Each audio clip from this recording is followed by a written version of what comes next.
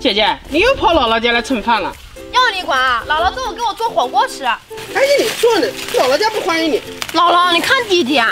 好了，你别理他，给灯瓜抱回家，姥姥给你做火锅吃。好。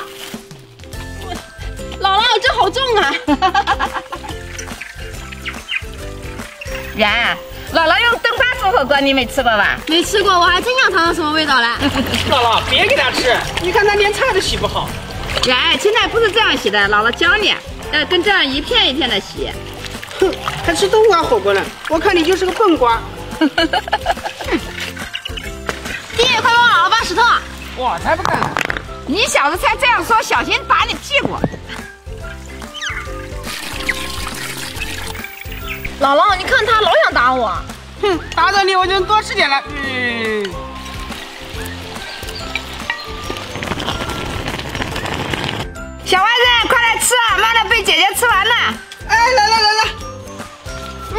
这好好吃啊！你也吃块肉。嗯，好吃。